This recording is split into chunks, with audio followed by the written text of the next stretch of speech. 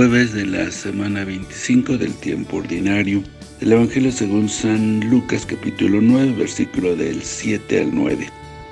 En aquel tiempo el rey Herodes se enteró de todos los prodigios que Jesús hacía y no sabía qué atenerse, porque unos decían que Juan había resucitado, otros que había regresado Elías, y otros que había vuelto a la vida uno de los antiguos profetas. Pero Herodes decía, a Juan yo lo mandé decapitar, ¿quién será pues este del que oigo semejantes cosas? Y tenía curiosidad de ver a Jesús. Palabra del Señor. Gloria a ti, Señor Jesús. Mientras los dos están en misión, Lucas aprovecha para narrarnos la curiosidad de Herodes acerca de Jesús. La inquietud de Herodes no se debe por cuestiones de fe ni de conciencia, sino más bien a los comentarios y opiniones encontradas de la gente. Hay dos cuestiones de fondo aquí. Primero, a estas alturas todavía no hay una percepción clara sobre la identidad de Jesús. Y segundo, Lucas aprovecha las mismas palabras de Herodes para transmitirnos la noticia sobre la muerte de Juan y las circunstancias de dicha muerte como la, lo hace Marcos. La fama de Jesús se extiende y llega a oídos de Herodes Antipas, tetarca de Galilea y Perea, el asesino de Juan el Bautista. Este Herodes era hijo de Herodes el Grande. Su actitud parece muy superficial, de manera de mera curiosidad. Está perplejo porque he oído que algunos consideran que Jesús es Juan resucitado, el que le había matado decapitar. Este Herodes es el que más tarde dice Lucas que amenaza con deshacerse de Jesús y recibe de este una dura respuesta.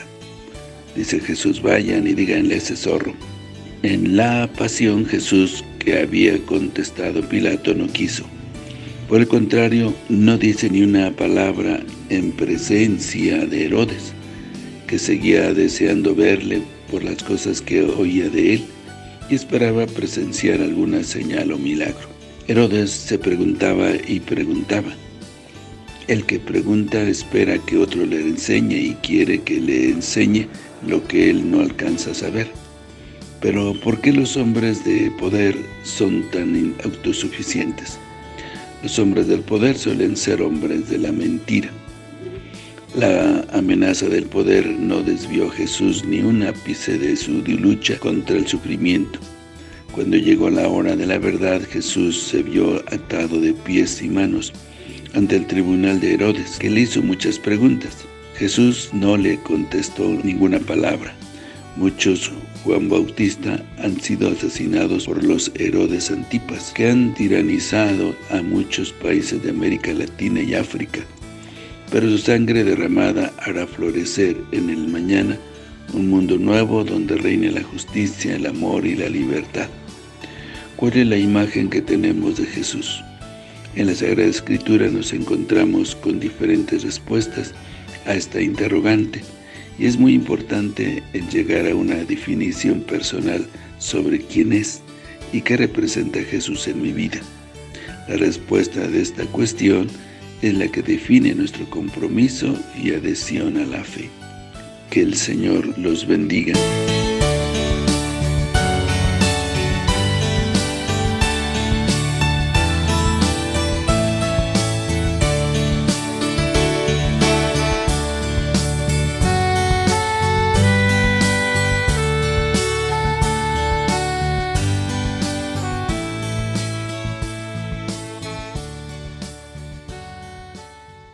La bendición de Dios Todopoderoso, Padre, Hijo y Espíritu Santo, descienda sobre ustedes, que los acompañe siempre. Que el Señor los bendiga.